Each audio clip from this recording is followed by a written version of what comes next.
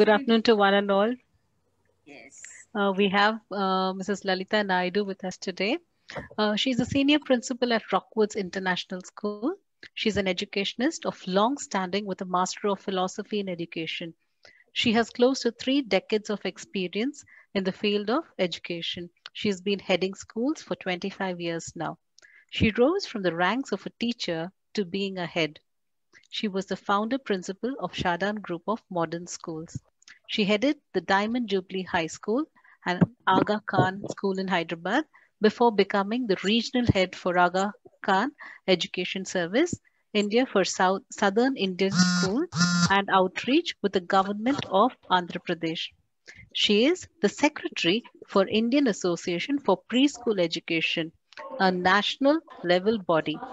She has also been a member of Academic Resource Group of Government of Andhra Pradesh. She's been instrumental of developing a team of young professionals who have facilitated the culling out of minimum levels of learning for SCERT. She received extensive training as a master trainer in Phillips Andover, USA, Middlebury School of English, USA, and at Queen's University, Canada, on school-based assessments. She has facilitated, facilitated several action research projects which establish the norms of cooperative learning techniques. In addition to this, she has been designing training programs and has facilitated many both in India and abroad. Her core belief in education can be summed up in three words, which she is very fond of purpose, passion, and pedagogy. Welcome Thank- you, ma'am. Thank you very much. Uh, I have, in fact, uh, my apologies for joining in a little late. And I was waiting for the link, and there seems to be some problem. I received some one link. I was in with that. And then finally, I didn't want to keep you all waiting. So I quickly joined with my phone. Uh, so I will be logging off in my phone right now. And, uh, uh, you know, starting off with my uh, laptop. Yes, yes. So let me just leave this. Yeah, that's it. That's it. You know.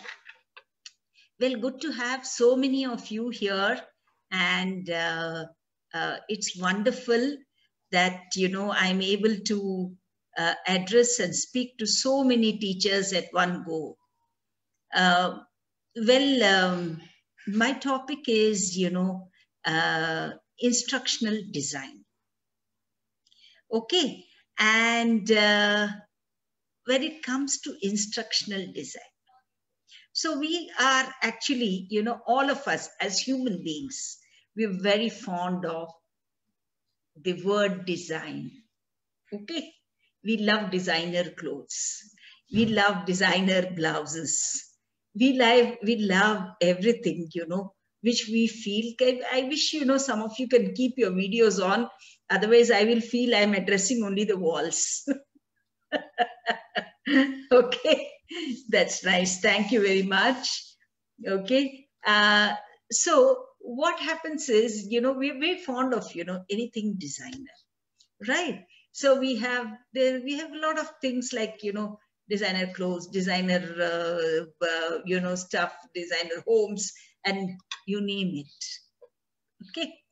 But uh, the lessons which we deliver as teachers, it is so very important that we learn to design the lessons effectively. Okay. As you all know very well, you know, the uh, the the the lessons that we deliver are you know going to impact so many students. Okay? So if i just ask you all okay what has been your experience as a student? I'm sure you had beautiful experiences. And these have been created or given to you by teachers who taught you. isn't it? So you will find that these little, uh, you know, sparks that you get here and there.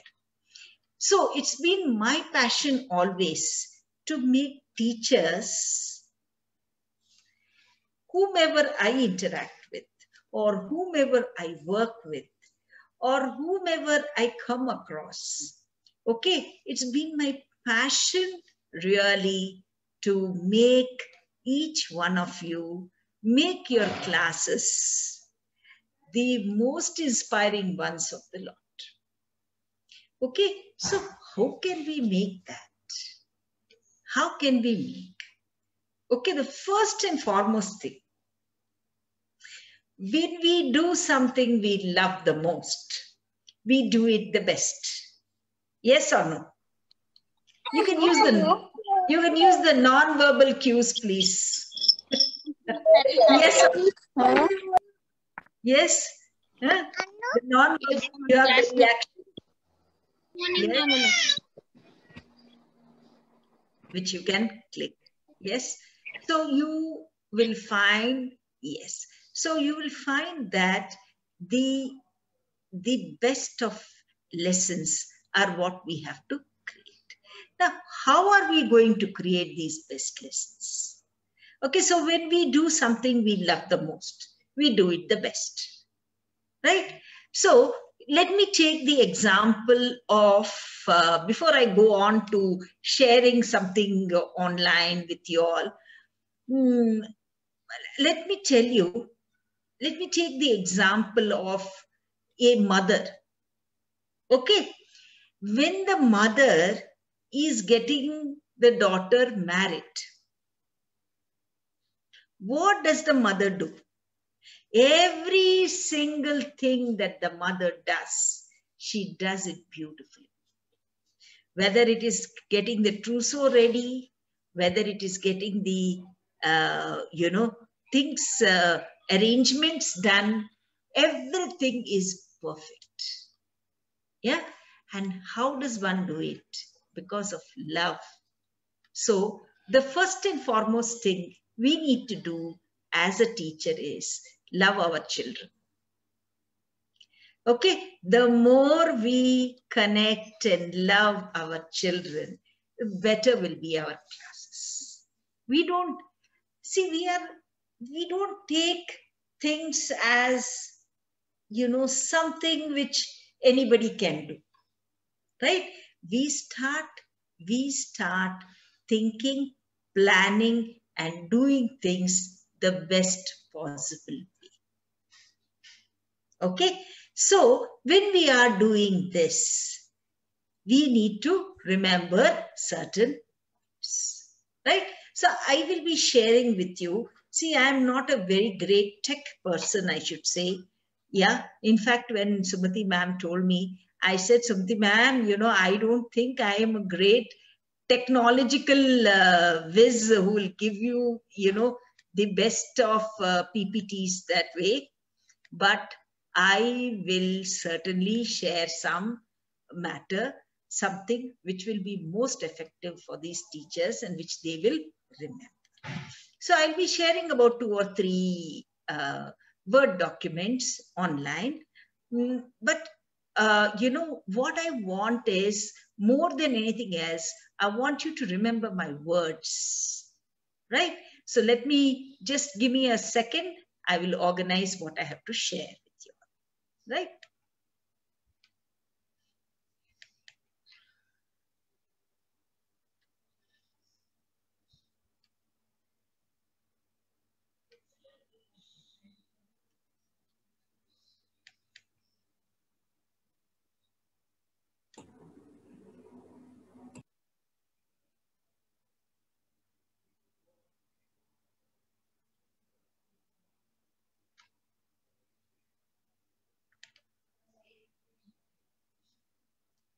Verde, ve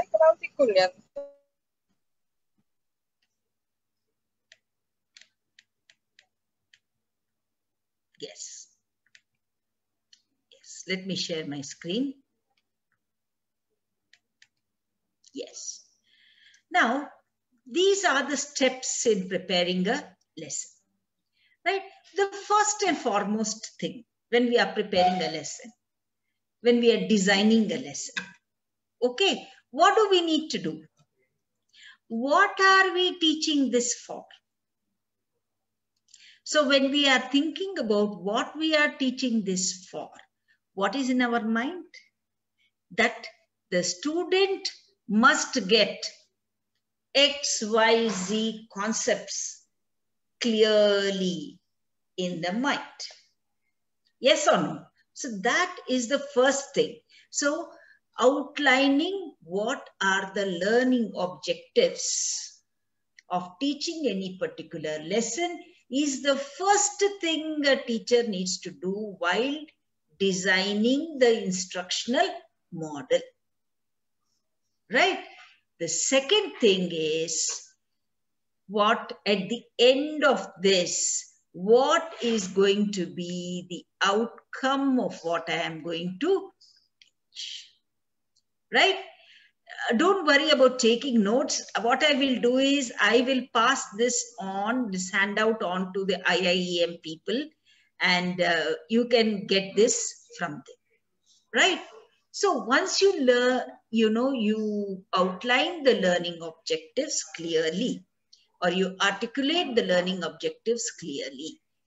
Then the next step is how do you, how, what is that, that, that one spark? What is that one spark that is going to give your lesson the impetus? Okay, that is going to make everybody alert right? So, you know, if you go anywhere, you'll, you'll feel bored a little, you know, sometimes, especially, you know, a lecture like mine today, right now, will be, you know, because, you know, this is post lunch. So everybody is a little drowsy, little sleepy, little this thing. So your attention will completely not be on me. So if I tell you something like this, that teachers, I am going to teach you something very nice. Okay, I am going to teach you how to catch lightning in a bottle. okay, I'm not going to do anything like that. But if I tell you something like that, then, you know, even for a student who's very dull and who's very drowsy and everything, immediately they will wake up and they will, their antennas will be up and about and they will become alert. Isn't it? So the first and foremost thing one needs to do is think about the degree of alertness in the class. So how do you introduce that lesson? Okay, so it can be, you know, relating to something else. It can be, you know, something which they have already seen. So some, you know, spark has to be created to bring the students to the readiness mode of learning. All of us need that, isn't it? All of us need to get into a readiness mode for learning, right? So, we, which is very, very important. So, uh, it can be it can be a simple poll. Now with the uh, you know online classes, you have this polls which you can take up, or you can have quizzes or you have some, you know, the online classes somewhere I feel are the best. It's a boon. Somebody asked, you know, we, we had a lot of debate whether online classes are a boon or a bane. I feel it's quite a boon. Of course, in terms of not having social interaction, in terms of students not having the physical activity, that of course is uh, you know, uh, irreplaceable loss for the children. But when it comes to classes as such, for children, it is definitely, you know, who are, in fact, a, a lot of my students, you know, they told me that, ma'am, we are learning 10% better than normal. In a normal class, I had too many distractions. But in an online class, I am being very, very, uh, at least it's very simple for me to learn. right? There seems to be some distraction somewhere. Uh, should I? Uh, no, ma'am. So there are participants who keep unmuting themselves, so we are muting them. So please, uh, you can continue. Yeah. Ma'am, you have muted yourself. Ma'am? You have muted yourself, ma'am. Yeah. I thought, you know, I can, uh, if I'm a co-host, I can hard mute everybody. Okay. All right. I'll, I'll, I'm giving you co-host, but we are also. No, no, that's okay. That's okay now. No problem. So, Yes. uh, so what happens is that's how it will be provided for starting off your now the next part when it comes to the uh, the next aspect of what one needs to do. Okay? The second aspect of what one needs to do is you know how will i check whether my students are connected to the topic or not? Right? So for that the most important thing would be that we ask students right? So for right now i'm sure you have a next session on um, uh, you know the uh, online classes how to design online classes. But then making use of non-verbal cues is very very important right? Making use of annotation is also very important okay? So i'm sure you will be getting those tools also in the second uh, part of this uh, session right? Then plan specific activities. What you are going to teach. You know specifically today uh, the fortunate part of online classes is everything is you have wonderful olabs you have wonderful uh, cbse online. We have the diksha app. We have you know all the museums world over okay have just left it left everything open for people to see right? There are virtual tours of every single place. Okay so i was uh, uh, telling you know that um, you know when i had uh, flown to nigeria on the way i had seen uh, you know the mount kilimanjaro which is a volcano. So it was so exciting to see you know from the flight the the uh, volcanic mountain right? But today you know you just click. At the click of the button you have the volcanic mountain which you're showing to the students through a virtual tour. Okay so you can take the children for these virtual tours also right now let me i'm deviating a bit. Let me come back to my lesson design. Okay so explaining about the topic will be the most important part right? So how do i start? Start with a spark right? And then we move on to giving the key points. Now these key concepts that we are giving has to be done very very very clearly and succinctly. If we don't give let me take a mathematics teacher. If a mathematics teacher is not able to give you know the concepts with clarity students will develop a gap. Now what happens where we go wrong as teachers is because we know everything. We feel our students also know everything. Right? Because we are well versed we feel our students are well versed. Right? So we presume that that information is already with them. We should always go with the premise that our students do not know whatever we are teaching so you teach from the scratch.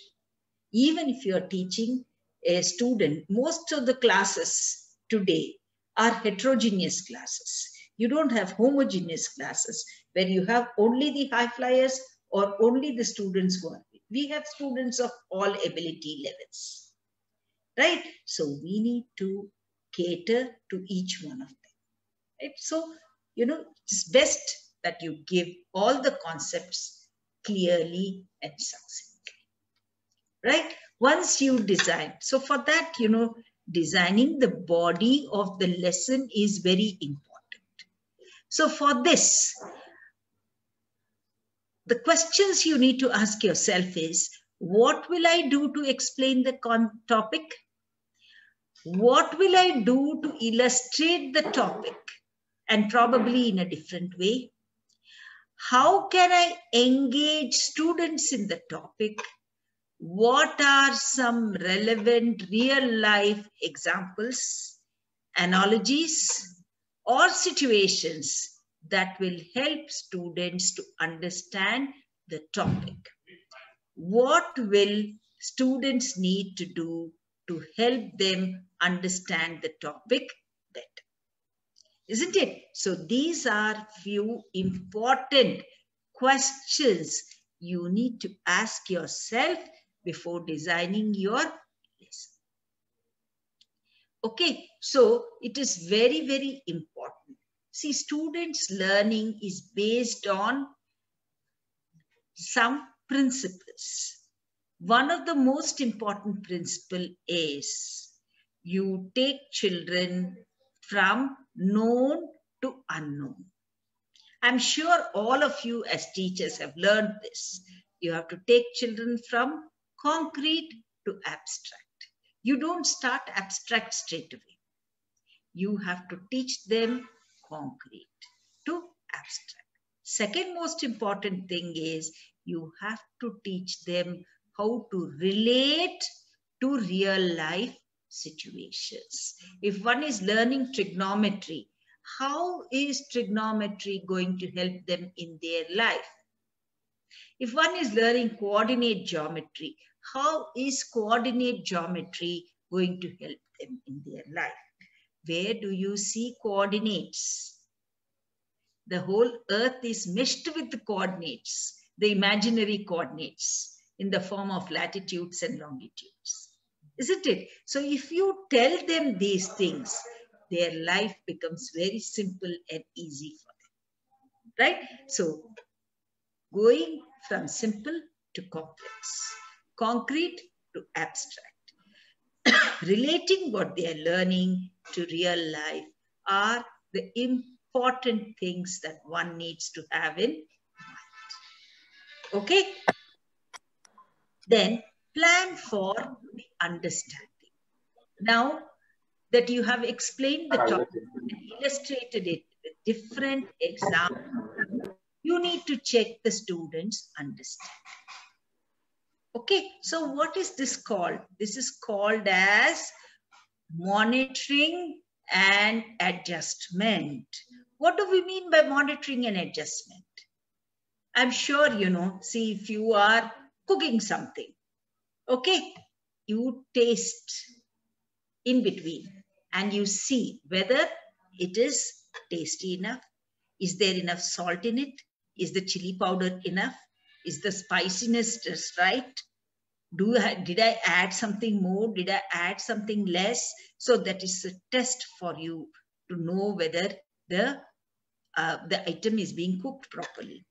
The same way you stop, you don't go at a breakneck speed and give it to the children. You stop somewhere, you pause for a while, and then you ask questions. What will you ask?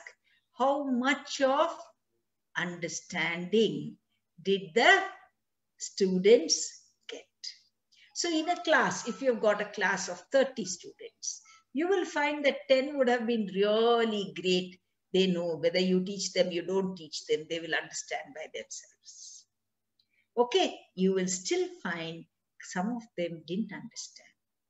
So how do you test? All 30 will you test? For this, the most important thing is choral answers. So you can give them signals to say that if it is yes, you will say this. If it is no, you will say this. So try to ask yes, no questions for you to understand whether they have uh, got the grasp the concept or not. Right? So the next thing is move on to what questions will I ask students for understanding, as I'm telling you right now, right? And here, you know, an important strategy that you that will help you to manage time is to anticipate students' questions. Right? Students will have a lot of doubts. They will immediately want to raise their hands. So there are teachers who give them opportunity in between, right straight away to keep asking questions. And there are students who stop, who, who, who you know, uh, for there are teachers who feel that right in the middle, if I get distracted, I will not be able to deliver my lesson properly. At such times, the teacher has to give clear instructions that please write down, please write down where am I, you know, what is my doubt? So that the student doesn't forget and you please allow a 10 minute interaction or question answer session at the end of every lesson. Right? End of every day's lesson. Right? Develop a conclusion and or a preview. Now, this is very important. But as teachers, we need to remember one thing that we are not going to teach the entire lesson on one day, isn't it? We will teach one concept in that particular lesson.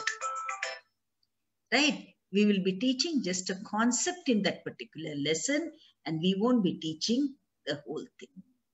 So for that, you know, it is very, very important that, you know, you conclude every day's teaching effectively. Okay, each day's teaching has to be concluded very effectively, right? Then create a realistic timeline. Okay, you need to remember that time is very important. Okay, I always tell people that in school, the only thing that we don't have, you know, is time, right? Because we are always, we have a course curriculum to complete. We have to complete it most effectively, most effectively right? Uh, yeah, there is somebody who raised the hand, uh, Ms. Amita Rao. I will give you at the end of the session a, you know, the, the let us, uh, you know, discuss it out. Right, ma'am? Okay. So you will need to give the time for the students. Yeah, I mean, uh, the effective management of time so unless and until we crisply manage our time, we are going to lag behind. Okay, there are teachers who are most, most effective. They will give one topic, you know, a sufficient amount of time. But what they realize is, and the students' learning will become really perfect. But what they'll realize is, especially for board going classes, they will realize that they're lagging behind in time for the other topics. Yes or no? Yeah. So these are, so estimate how much time each of the activities will take and then plan some extra for each, for each. Then when you prepare the lesson, you must you know actively indicate how much time you will expect it will expect to be taken plan a few minutes at the end of every class to answer any remaining questions and to add up to the key points. Then plan an extra activity or discussion questions if you have some time left, right? Be flexible. Teachers, this is very, very important. This is very, very important because you cannot be rigid with your timings or with your, you know, class as such. You may find that your best of lesson plans, your most foolproof concrete lesson plan can go for a toss if you find the students are not receptive enough. So looking at the students' mood, looking at what they want, you can make the changes that are essential. Okay, so plan a few minutes at the end of the class to answer the remaining key points. So being flexible, now again, being flexible and being ready to adjust your lesson based on your students' needs. That's where, you know, when you do the monitoring and adjustment, you find that students have not grasped the way you have planned. Go the way they want to learn to teach them that. Okay, so be very flexible in how you, you know, change your lessons from time to time.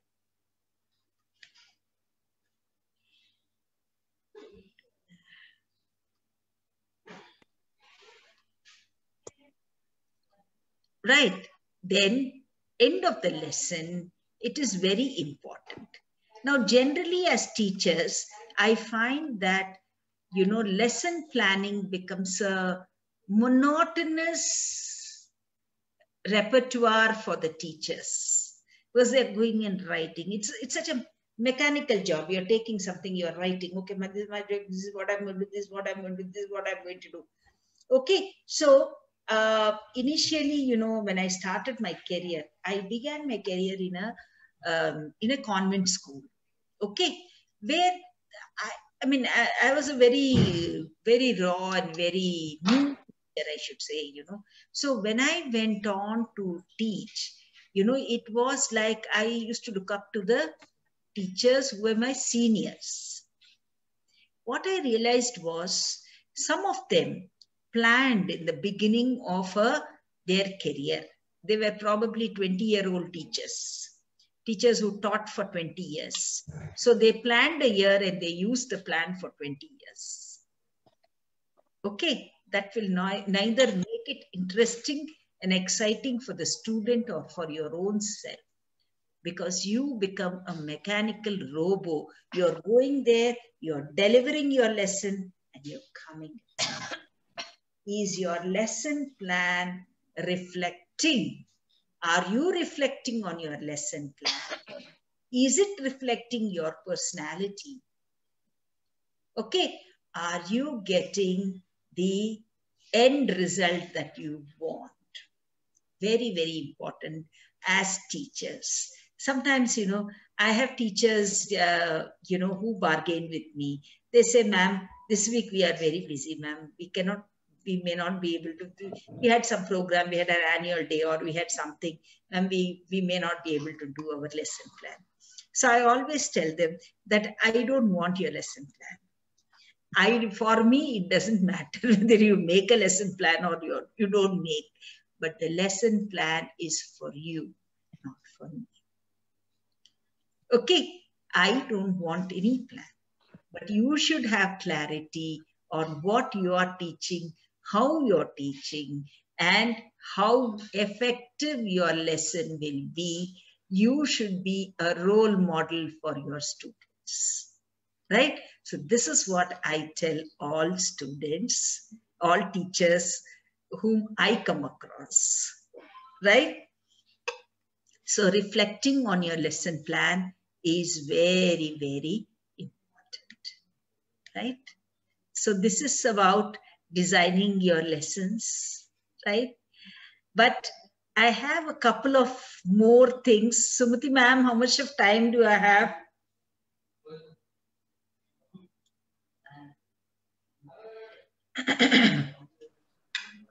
Ma'am, we've passed time. We have passed time. Is there another five more minutes, please? Uh, so, do they have any questions and answers for me? I can take that. Otherwise, I thought I'll take a little on learning styles and, you know, other things also. But uh, they can uh, ask me any questions if they wish to. Somebody had put up the hand. Uh, Anvesha, somebody had put up their hand some time back. Uh, hello, ma'am. This is Rashmi here. Yes, Miss Rashmi. Good uh, afternoon uh, to you. Yeah, as you said, if nobody has the questions, can we briefly see the learning styles and all? Can we can we just get a gist of it? it would be lovely to hear it from you. Yes, yes, yes. Yes, I will share it with you all. Thank you, ma'am.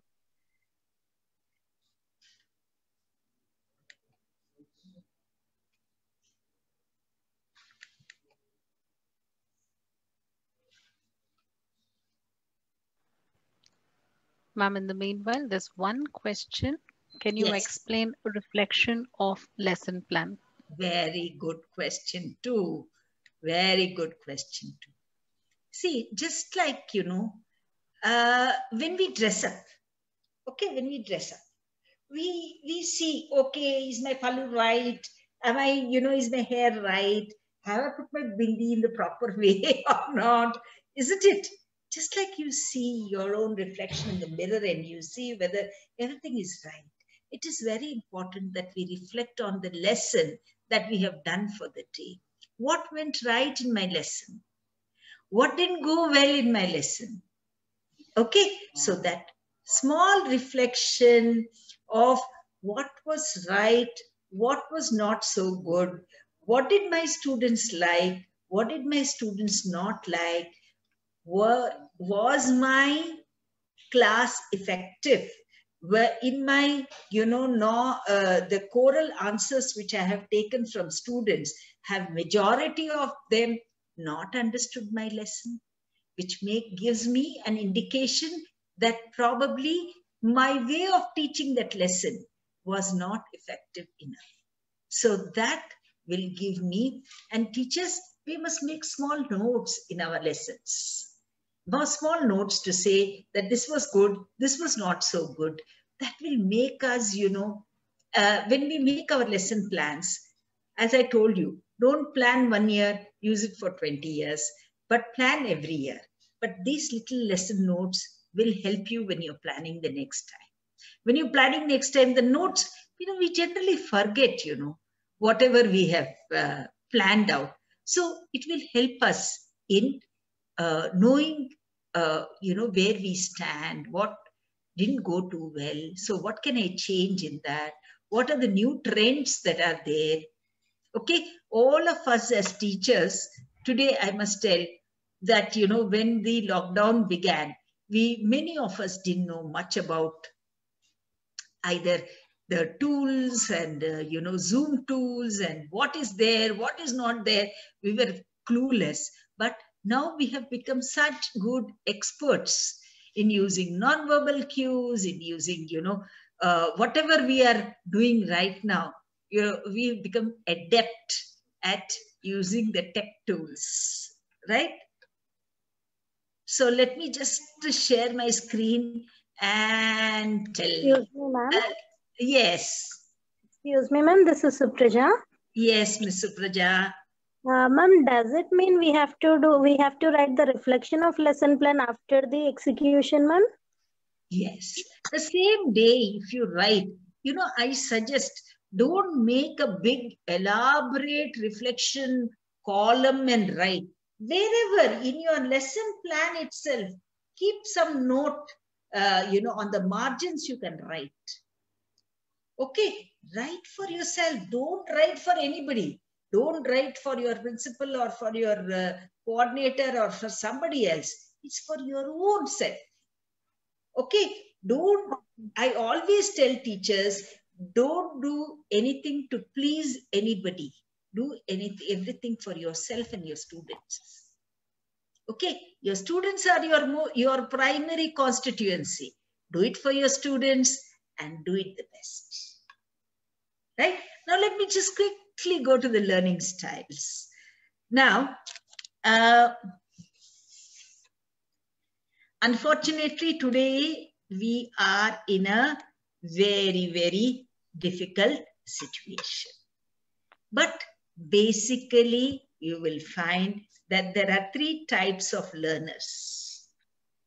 There are the auditory learners, those who listen and grasp and learn, right? There are the visual learners, the people who see and then they can grasp it. Then there are kinesthetic learners. That is learning by doing. Right? So basically, you have to remember these three things. Now, you may ask me, how can I cater to this in my lessons? Right? So, you know, we have different steps of lesson delivery, isn't it? We are giving, we are prepare, we are giving the, we are first testing their previous knowledge. Then we are giving them the key concepts. Then we are testing whether the students have understood, not understood. Then the next step is you're, you're adjusting, you're giving them additional information. Then you're making them do practice. You're making them do group practice. Then we are making them do independent practice. Then you are, you are issuing, you are giving a assessment or a test. So there are so many steps. So each of these steps, when you plan out, plan it in such a way that this part of my lesson, I will do it in a kinesthetic way. Say, for example, if you're teaching them about the landforms of any, uh, you know, uh, country, right? So when you're teaching them, you're showing, you're first talking about landforms. Oh, mountains are like this. So you are giving a visual uh, presentation of the same, right? Then you are making them listen. You can even make them listen to the sounds. Even, you know, English teachers, they can make children listen to beautiful sounds of things, right? Just you plan it out in such a way that you tell all children, now you're closing your eyes and you're going to listen to these sounds. Right? They get, they get the grasp of that. Then make them prepare the landforms. This is a plateau. This is a mountain. This is a valley. Right? So you are teaching them how to see this learning becomes a lifelong learning teachers, I must tell you, you know, long back. See, my own experience goes back 30 years. Okay, my own experience as a teacher, I have learned from different people. I can never say that I was born with this intelligence and I am what I am today because I know everything. I, I, I was born with this kind of a thing. It's not like that. I have learned from different people. Okay, so there was this wonderful lady by name Eleanor Duckworth okay, I happened to attend her workshop, right? And she was a student of Jean Piaget, right? So she was a pretty old lady when I met her, right? And she taught us how to make learning lifelong. And I'll tell you, she took an example of very beautiful example. She made two people stand on two ends of the room, right? And she made one person stand in the center of the room holding a mirror. Right? So the person at that end and the person at this end, their faces had to be seen in the mirror. Right? They had to adjust themselves and stand in such a way that their faces are seen in the mirror. Then she made us draw a line diagonally this way and that way and the center line to where the person with the mirror is standing. And you know what she told us? And that is so beautiful and nobody will ever forget if you do it with your students. The angle of reflection is equal to the angle of diffraction. Okay, so it was, it's, a, it's something that, you know, a student will never forget. This is lifelong learning. So as teachers, we have to keep thinking, how do we make students learn in this fashion? Right, my dear teachers? So I hope I made little sense somewhere, but it was wonderful and such a big lot. So thank you, Sumati ma'am, and thank you everybody for being such wonderful audience and uh, have a wonderful time and a great, great career as a teacher. I love all of you. Thank I you, love all teachers. Thank you so Thank much, ma'am. Thank you, ma'am. Thank you, Thank you, ma'am. Sumati. So nice. It was very wonderful. Thank you so much, Lalita. Thank you. Thank you, Subhuti. Thank